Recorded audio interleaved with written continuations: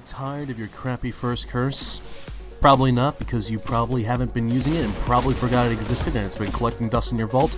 Well, today I'm going to show you that that pile of dust can become the new meta. In order to pull off this glitch, you're going to need the Sealed Ahamkara Grasps. I'll show why that's important in a minute here soon. In order for you to start this glitch, you're going to need to get a precision kill with the first curse. This is a bigger task than you might think it is, but to be honest, the first curse is actually much better since the new update. Once you have acquired a new magazine filled with the first curse perk on, you're going to want to simply switch to another weapon when your ammo gets low. Once you have a different weapon equipped, this is where the Sealed Ahamkara Grasps come in. What you're going to want to do is you're going to want to try to do melee damage in order to cause the first curse to be refilled with primary ammo, but you don't want to have it equipped. As you'll be able to see, when you're doing melee damage with the first curse equipped, it actually takes off the first curse perk.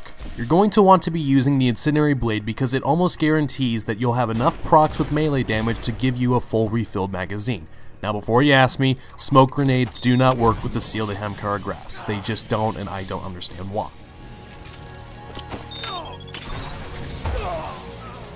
Now I took the liberty of asking myself the question, why exactly does this work? Well, triple tap is on the first curse, and since the first curse perk reactivates and fills the ammo in the magazine, it essentially means that more bullets can be added to that magazine with the perk staying on.